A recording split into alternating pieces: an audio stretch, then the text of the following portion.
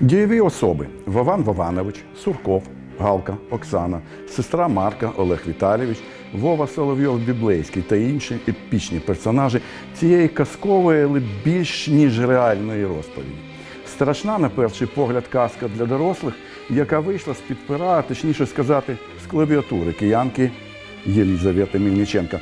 Це реальна казка або казкова реальність, вже я не знаю, як сказати. Про войовничу рашку, її працелюбну, але мирну сусідку.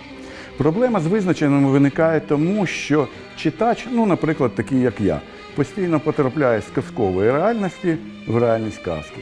І отже, не завжди розуміє, де, коли і як відбувається цей трансцендентний без перебільшення перехід.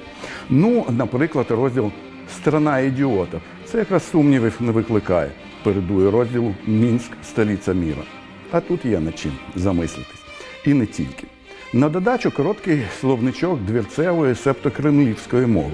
Містить тлумачення таких життєво необхідних кожному москалеві термінів, як ото баклан, бікса, зяблик, муфлон, піндос. Ну і термінів типу крошить батон на кого-то або матижить, як святой Франциск. Без знання цих та інших фразеологізмів ви ніколи не зможете стати справжнім вежливим чоловічком, опанувати велику та могучу перебрикову мову, обійняти посаду представника РФ в Організації Об'єднаних Націй або що. Ну, воно вам, мабуть, і не треба. Але знати деякі вислови необхідно саме для того, аби спілкуватися з прототипами героїв цієї історії після того, як золотий тризуб засяє над кремлівськими баштами. Елизавета Мельниченко. Инопланетная рашка.